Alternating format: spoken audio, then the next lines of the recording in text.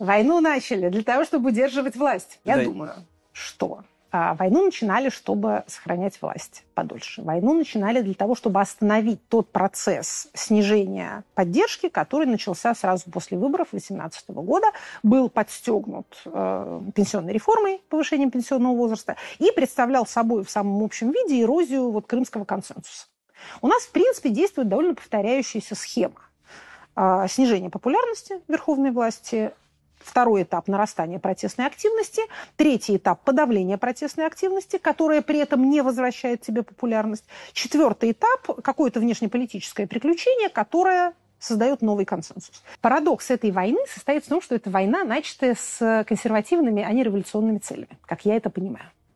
Для того, чтобы сохранять власть сколь угодно долго, изолировать страну от тех влияний, которые мешают сохранять власть сколь угодно долго. Не дать вот этому новому враждебному поколению получить то, что они неизбежно бы получили.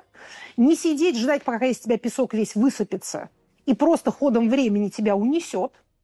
А как я сказала в, в отчаянии в самые первые дни войны, э, бетонную плиту обрушить вот на этих людей, чтобы они не выползли из-под нее. Получилось ли это или не получилось? С одной стороны, можно сказать, что вроде как пока получается, власть-то сохраняется. Мы на это говорим, что она бы и так сохранилась и без войны.